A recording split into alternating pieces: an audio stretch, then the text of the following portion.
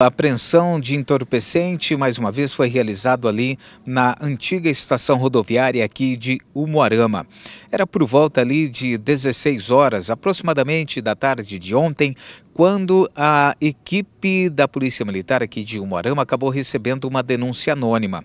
A informação era de que um homem estaria comercializando pedras de crack na Rua Guadiana, bem em frente à antiga estação rodoviária.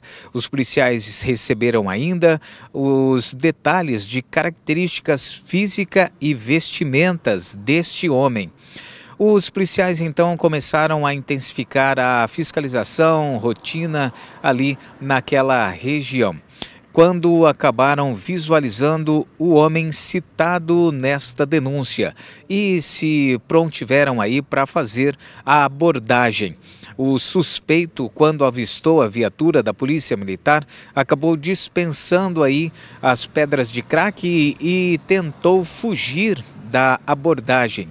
Foi realizado então um cerco ali dos policiais e conseguiram abordar este homem. Ele, com 29 anos, já é conhecido da polícia e, com ele, após a revista, nada de ilícito foi localizado.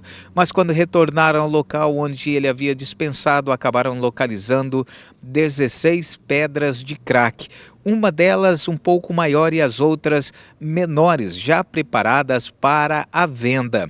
Ele negou que estava ali comercializando entorpecente, mas de posse aí de todas as informações e do flagrante, o homem acabou recebendo voz de prisão e foi conduzido junto com as drogas para a delegacia aqui de Umuarama. Agora a cargo da Polícia Civil dar continuidade nas investigações e autuá-lo ou não pelo crime de tráfico de drogas.